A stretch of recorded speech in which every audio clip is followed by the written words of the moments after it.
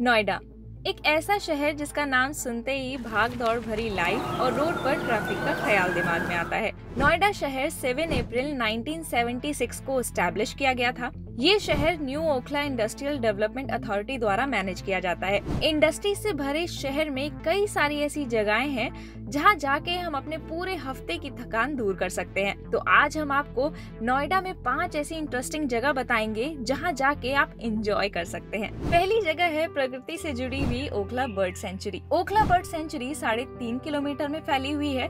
इसकी शुरुआत सन 2002 में हुई थी। ये सेंचुरी नोएडा और दिल्ली के बॉर्डर पर पड़ती है। यहाँ के गार्डन में आपको साढ़े सात सौ के आसपास प्लांट देखने को मिल जाएँगे और लगभग 400 के आसपास पक्षियों की प्रजाति भी देखने को मिल जाएगी। यहाँ की सबसे खास बात यहाँ की झील है, जो लोगों को अपनी ओर आकर्षित करती है। यहाँ शाम के समय आपको विभिन्न प्रजाति के प्रवासी पक्षी भी देखने को मिल जाएँगे। तो अगर आप यहाँ जाना चाहते हैं तो तीस रूपए का टिकट आपको खरीदना होगा। और अगर टाइमिंग की बात करें तो ये सुबह सात बजे से लेकर शाम पाँच बजे तक खुलता है। तो अगर आप नेचर लवर हैं तो प्लीज़ यहाँ ज़रूर जाएँ और इस जगह को एंजॉय करें। स्तूप 18 आर्ट गैलरी एक ऐसी जगह जहाँ आप कंटेम्प्रेरी और मॉडर्न आर्टिस्ट के साथ साथ फोटोग्राफरों के काम का भी आनंद ले सकते हैं। ये आर्ट गैलरी नोएडा के सेक्टर 104 में है। अगर आप आर्ट में रुचि रखते हैं तो यहाँ आप ज़रूर आए।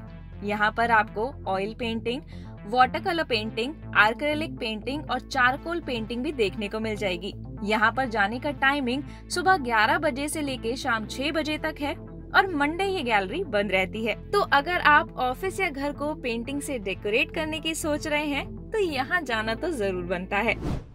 अट्टा मार्केट वह जगह है जहाँ आप स्ट्रीट शॉपिंग का आनंद ले सकते हैं। शॉपोहॉलिक्स के लिए ये एक फेवरेट जगह है।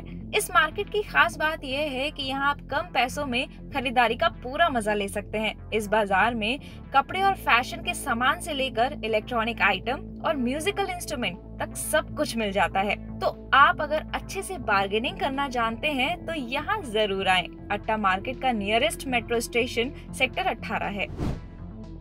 नोएडा का सबसे फ़ेमस थीम पार्क जिसका नाम है वर्ल्ड्स ऑफ़ वंडर जिसको लोग वाव के नाम से भी जानते हैं। ये पार्क 10 एकड़ में फैला हुआ है, जिसके अंदर राइड्स और वाटर स्लाइड्स हैं। पार्क में सबसे फ़ेमस राइड हैं rock and roller fast forward chart smashers big beat download और हैप्पी हॉप इस प्लान पार्क में आपको छोटे बच्चों के लिए एक अलग जोन भी मिल जाएगा जिसका नाम है ला फिएस्टा यहाँ पर artificial lake rain dance zone go karting zone और कई रेस्टोरेंट भी हैं। तो अगर आप यहाँ जाना चाहते हैं तो पहले टाइमिंग और टिकट चेक करना ना भूलें। नोएडा सिर्फ़ शॉपिंग गेमिंग या फन के लिए ही फ़ेमस नहीं है बल्कि यहाँ कुछ ऐसी जगहें भी हैं जो अध्यात्म से जुड़ी हैं। इन्हीं में से एक है यहाँ का स्कॉन टेंपल जो कि नोएडा के सेक्टर 33 में है। ये टेंपल नोएडा के धार्मिक स्थलों में सबसे ऊपर आता है। ये मंदिर श्री कृष्ण का मंदिर है, जो की श्री कृष्ण भक्तों द्वारा बनवाया गया है। मंदिर में भगवान कृष्ण और राधा रानी की बहुत ही सुंदर प्रतिमाएँ हैं। मंदिर की शुरुआत में एक बहुत ही विशाल और सुंदर प्रतिमा बनाई गई है, जिसमें भगवान श्री कृष्ण द्वारा अर्जुन को गीता का ज्ञान दिया जा रहा है, जो इस मंदिर को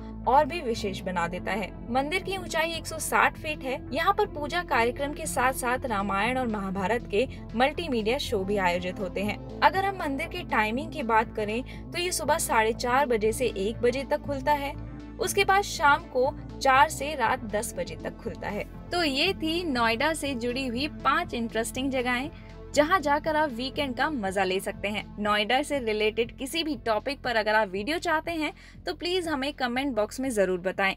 साथ ही, और ऐसी इंटरेस्टिंग वीडियोस को देखने के लिए हमारे चैनल को सब्सक्राइब करना ना भूलें।